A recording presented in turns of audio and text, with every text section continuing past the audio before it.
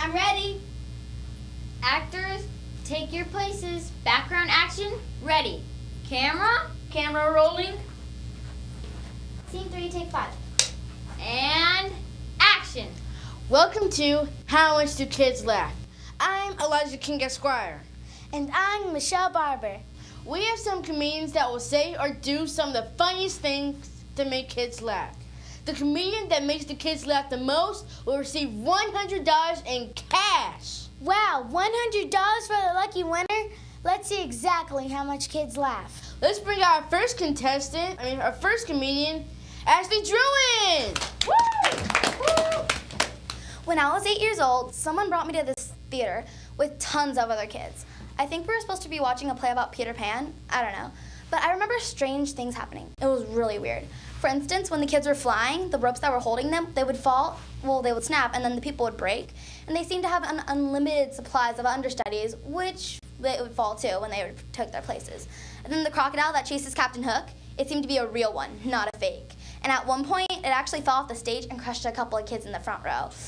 Yeah, not the best thing. And then they had some understudies come and take their place. And then Wendy, in between scenes, she seemed to get fatter and fatter and fatter until she couldn't even move. They had to cart her off stage. Okay, so you know that scene where Tinkerbell drinks the poison in order to save Peter Pan?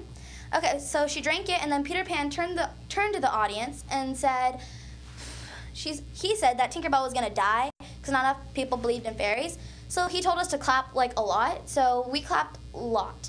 My I clapped so long and hard that my hand started to bleed.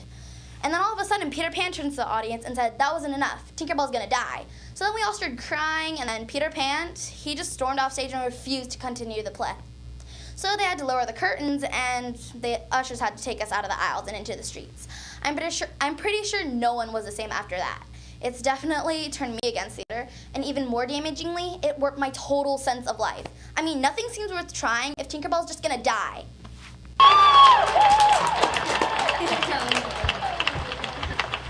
That was really funny.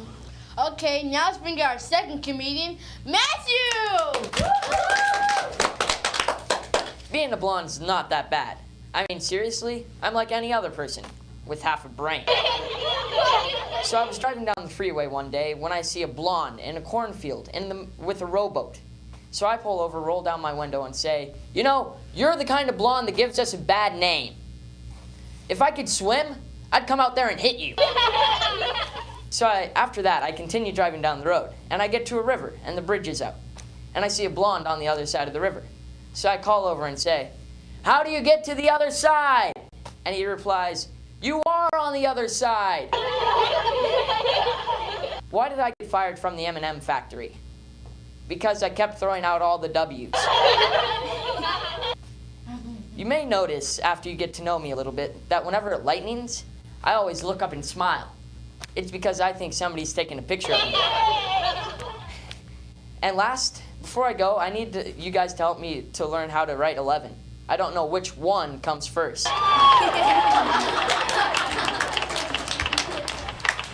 Oh my goodness, where do they get these comedians from?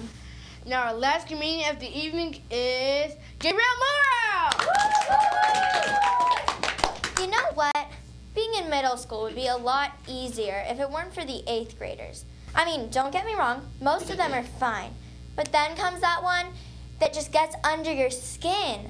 And in my case, his name is Valentine. Valentine's a total bully, and he looks like a big piece of broccoli. He's really skinny with a huge pom pom on his head. That's. Well, anyway, Valentine just can't seem to leave me and my friends alone. Like just the other day, I was teaching my friend how to moonwalk on the lawn, and she moonwalks right into him. He turns around and goes, Why'd you bump into me? And she looks at him and she goes, My back spasmed. And by the look on his face, we ran. So we were safe that time. But then another time, I was walking to class, and he bumped into my shoulder. So I let out a little, ow. And then he looks at me and he goes, Do you want to repeat that? And I, on the inside, I was like, Yeah, I would. Ow. But on the outside, I was like, No, sorry, bye. so when you go into middle school, be sure to steer clear of the eighth graders. Boy, was they funny. She really made the kids laugh. Yeah, but the kids seem to stop laughing. I guess the prize